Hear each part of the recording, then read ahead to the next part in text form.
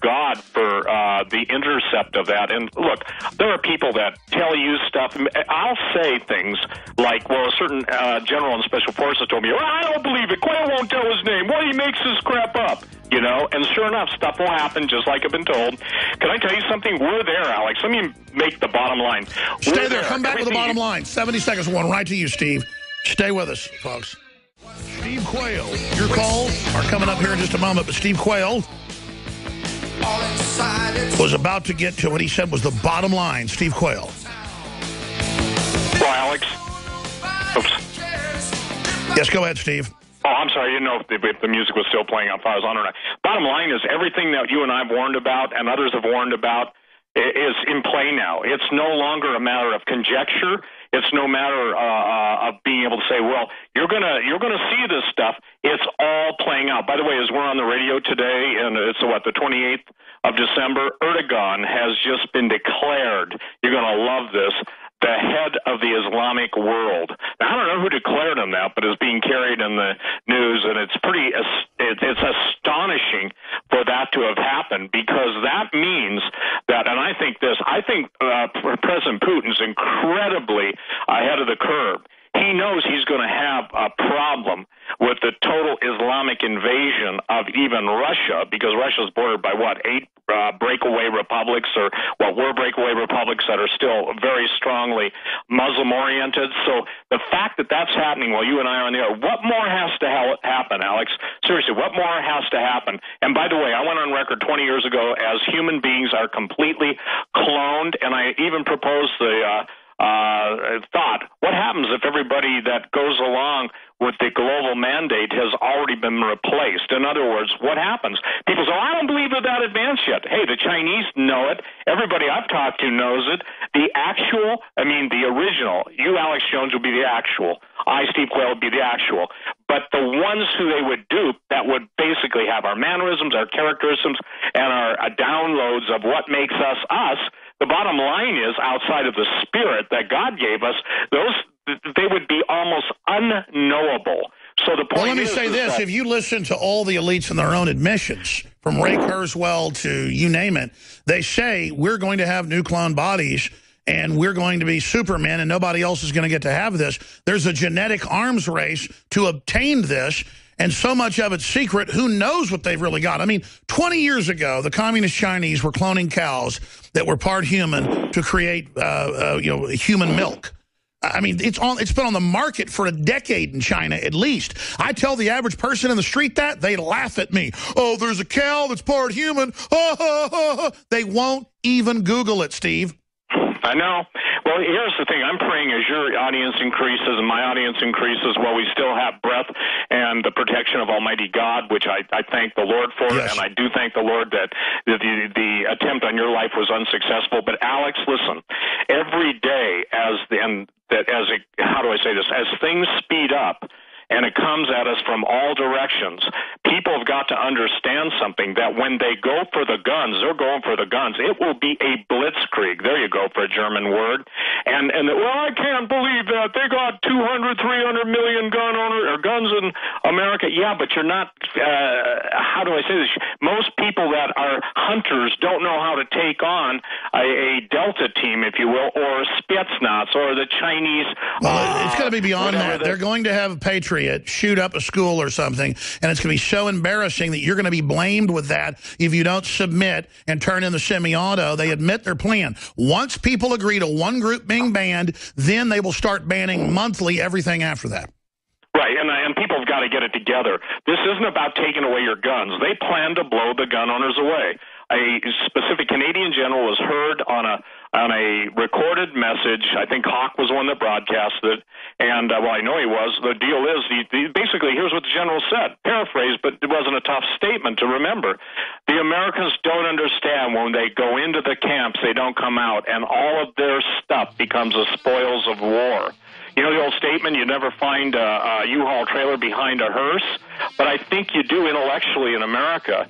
Somehow people think, well, if I just give them my semi-automatic, then I can go back and watch as no, the world they burns. want the gun because they want your kids. They want you. They want it all. They want to sit there with the little socialists and all these professors and people literally running camps, kicking our guts in while we're chained down. It's about a power trip for these bags of pus. Steve Quayle of SteveQuayle.com is our guest. His latest book is a bestseller, Empire Beneath the Ice, dealing with all the Nazification of America. I want to be clear, it doesn't mean go after the, quote, minorities. It means a system of social control. Eugenicists are on record saying we're not going to go against certain races or people. We're going to go against basically everybody. And it's a science of social control. I want to go to Simon, Frank, uh, Ray, Mike, Chris, and others. We're going to have our guests at the bottom of the hour That I'll get into a bunch of special reports and other key intel we have not yet covered. But, Steve, I've got to ask you this question briefly and, and then go to these calls. Matt Drudge was here a few months ago, but I've talked to a lot of other people in media, uh, syndicated talk radio, big local talk radio, you name it. Um, for people that don't know, most of even your smaller radio change and TV change are financed or controlled one way or another by J.P. Morgan, by Wells Fargo, Berkshire Hathaway. Um, the big one, of course, is Goldman Sachs. They're involved in everything. And I was taken off XM last year, very successful on there after being on like seven years. I was taken uh, off a lot of medium-sized company radio stations, and they'd say, nope, no problem you have the ratings, no problem, people love you. In fact, we've had you on here for years. Will you please just not attack us when we take you off? We'll be honest with you. It is a corporate decision. And that's what's going on. And they're getting rid of uh, locals who are on the radio, conservative morning host and people. And, and I've talked to these folks. It's not to bring in newer, cheaper people. They are putting liberals on. They're putting on fake pseudo-conservatives. So here's how the teams work. And we're going to your calls. You'll have one guy who's a pseudo-conservative but kind of loses the arguments. Then you'll have the, quote, liberal. And that's who they're putting on everywhere. And they even tell people, can you do this new format? This is what the consultants say. And what it means is you do what the consultant says, not because you're going to make money or because it's going to be successful. You do what the corporate consultant says because then the ad agency will give you money. So, Steve Quayle, there is a purge of libertarian patriot media. They're coming after the internet as well because we're exploding, because we are hurting them. They can't have this criminal takeover and have the TPP rule America outside of law and do forced inoculations if we're on the air. But don't they get that the transmission already went out to the police and military and others and that and that people now know don't they get that we didn't just sit here flat-footed the last 20 something years yourself and countless others and that we now are in a fighting position don't they understand that Steve Quayle I think they're blinded by their rage and the lies they believe the Luciferian lies uh, Valhalla if you will without any uh, reference to God. It's a spiritual battle, Alex, but it takes place in the physical realm. I think the problem is is that the uh, professing Christian church has become the weakest expression of that which the men of faith, the men you and I quote, the men you and I read in the Bible, laid down their lives for. And Dietrich Bonhoeffer withstood the Nazis. I mean, let's face it. There are very few Bonhoeffers in this world. There's a whole lot of kiss or embrace the enemy's rear end people because everybody Jesus said friendship with the world is enmity with God, okay? But people will choose political correctness as long as nobody messes with their big screen TV or whatever it is. So basically, I call it narcosynthesis. Narcosynthesis has another meaning, but here's how I define narcosynthesis. When, you know, what's his name? Was it Lenin who said the religion's the opiate of the masses? Television is the opiate of the masses. Marshall McLuhan was right. It's not the messages that we see on TV, it's the TV that is the message itself. That's why they call it television programming. The medium is the the medium is the message. Yes, sir. That's what I'm trying to say. Well, that's so, it. I've got articles here. Man walks off cliff and plummets 60 feet to his death on Christmas Day, uh, day while distracted by his cell phone. Literally, third world diseases are becoming uh, antibiotic immune, not resistant. All these diseases are exploding. Mass death statistically is increasing. All sorts of real problems. And our elites don't even care because they've got advanced medicines and technologies that basically protect them. It's well known. And it's just crazy that that the average person, Steve Quayle, would want to go along with this thinking they'll be safe. I talk to a lot of really famous people, as I know you do, off record. And some of them, I mean, you know, just, you know, people think of them as, you know, Mr. Tough Guy. But they can't believe that I'm willing to go on air and do this stuff. Uh, I talked to so many military people, and I mean, you know, famous special forces people, you name it. They're scared uh, of this system. But I don't get how I'd be scared not to fight it and let it win. I'm not fighting this because I'm full of courage. I'm fighting it because I realize I'm like, you know, a dog in a cage being lowered into water. I need to get out of here. I'm going to drown. I mean, don't they have survival instincts? When you see something like this coming at you, you can't run from this. All you can do is fight it. where, where is the fighting spirit? I mean, I know people are waking up, but where's the fighting spirit, Steve Quayle, to, to really get aggressive with this?